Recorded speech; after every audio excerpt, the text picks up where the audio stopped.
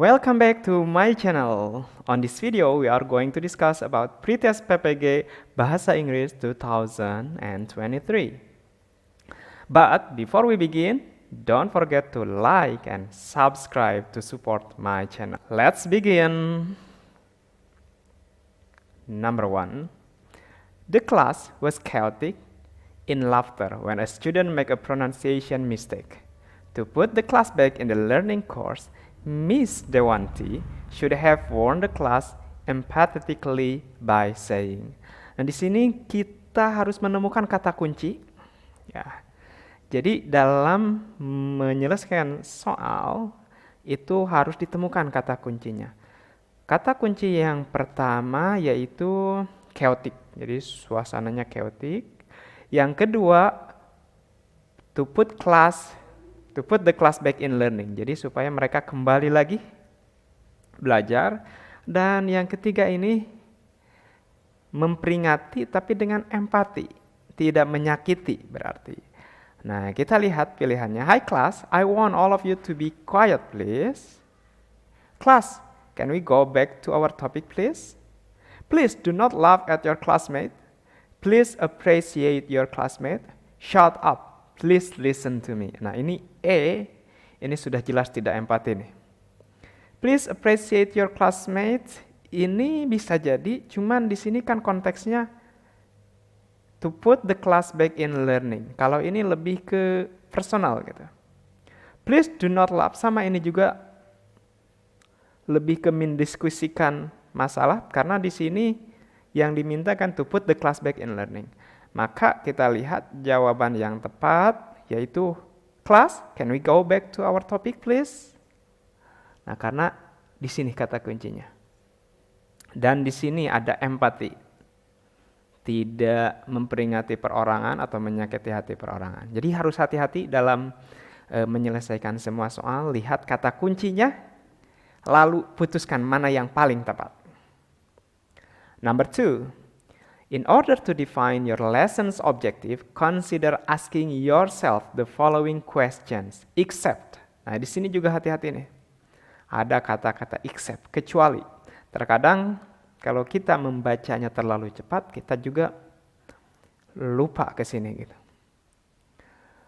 Nah, untuk mendefinisikan atau menentukan tujuan pembelajaran kita, kita harus mempertimbangkan beberapa pertanyaan. Kita lihat dulu. A. What will the student accomplish during the lesson? Ini diterima. Jadi tujuan yang ingin dicapainya apa?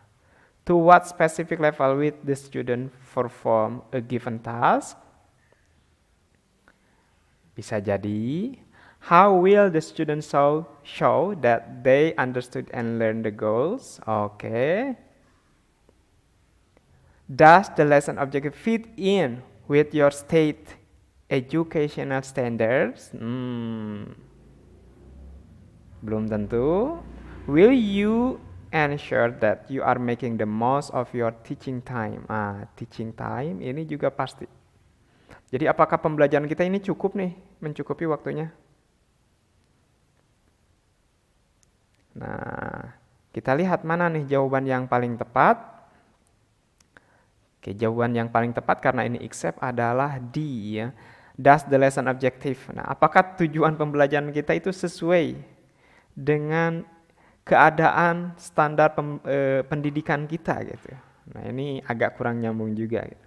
Kalau yang lain e, accomplish during the lesson apa yang dicapainya, terus what specific level ini berarti hubungannya dengan keadaan siswa ada di level mana sih gitu? Apakah cocok gak tugas yang kita berikan dengan level mereka gitu? Jangan sampai level dasar dikasih level advance yang sulit misalkan how will the student show that they understand nah bagaimana ukuran tolak ukur nih? Tolak ukur sejauh mana sih siswa paham apa yang diberikan oleh kita gitu. terus ini berkaitan dengan waktu Oke, okay, untuk E-nya. Oke, okay, next number three. Number three, the principle ya ini typo nih. The principle of the direct method in language teaching include the following propositions except. Nah, ini berbicara tentang direct method. Nah, ini direct method itu pembelajaran bahasa Inggris tapi secara langsung.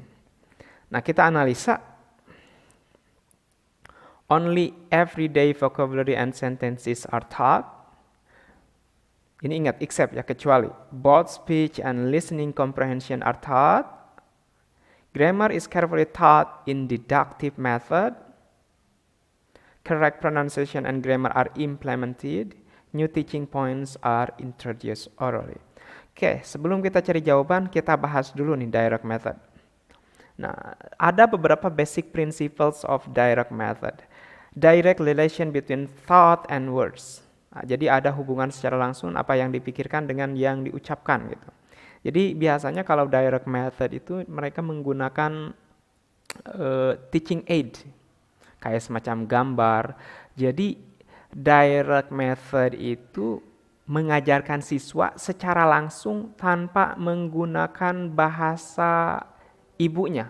Kalau kita misalkan ngajar, uh, kalau kita orang Indonesia dan kalau guru bahasa Inggris menggunakan sistem bahasa eh, apa direct method maka mereka tidak mentranslatekan tapi mereka menunjukkan gambar. Misalkan apple.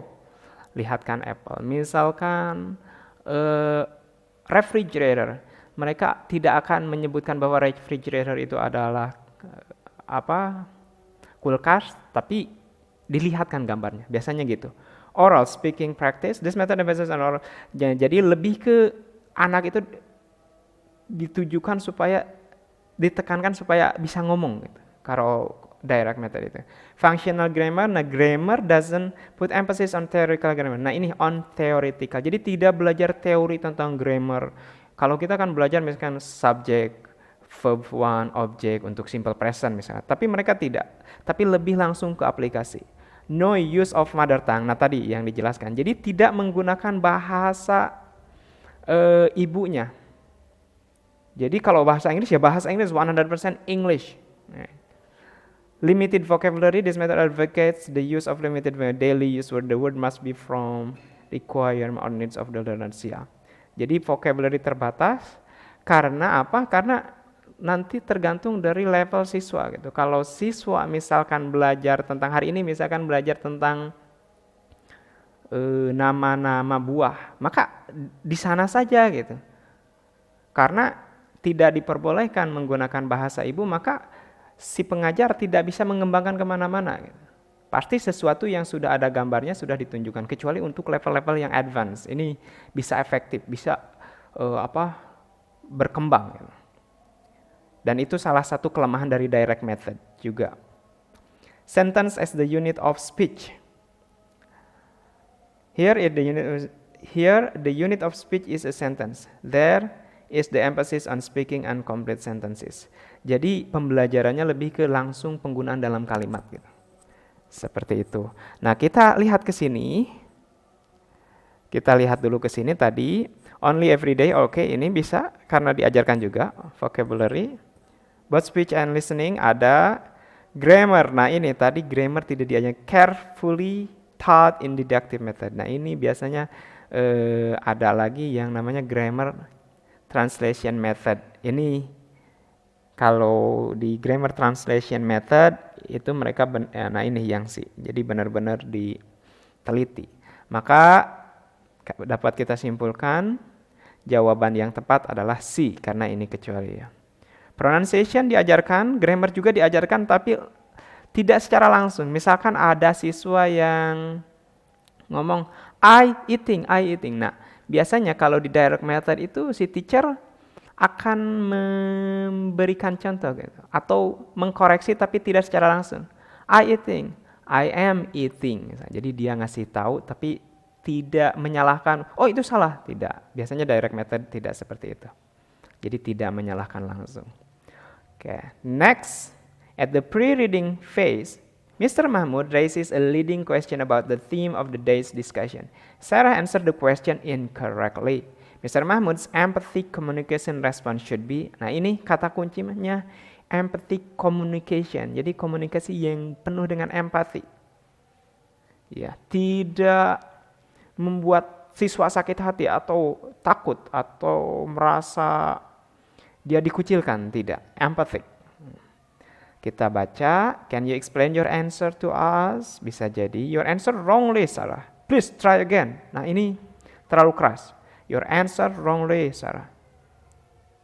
That is not the answer. Listen to me. Ini juga terlalu keras, tidak empathetic. Sarah, you do not answer my question. Wah, ini anyone? Is it the correct answer? Kalau I itu lebih ke dia menganggap mengacukan mungkin.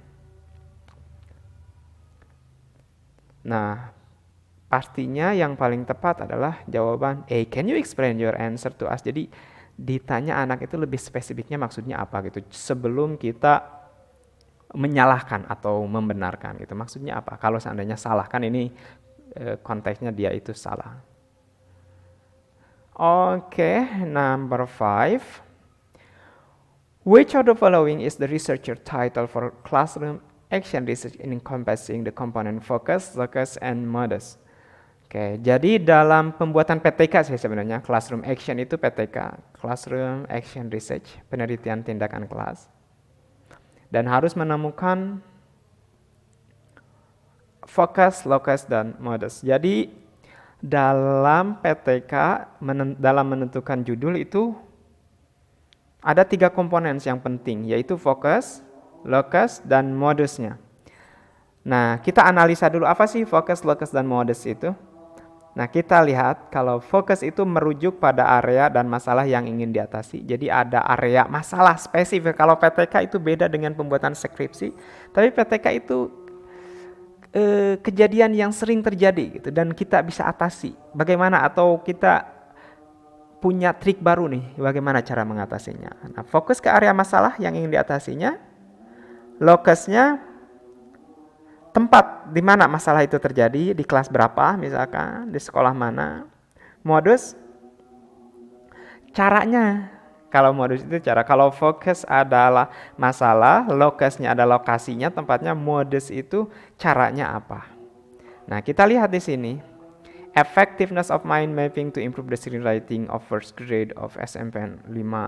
SMPN 5, effectiveness ini lebih ke kayak judul skripsi gitu, sangat meluas sekali. Correlation of mind mapping and teaching lah, dan ini juga sama ini kayak research. Gitu.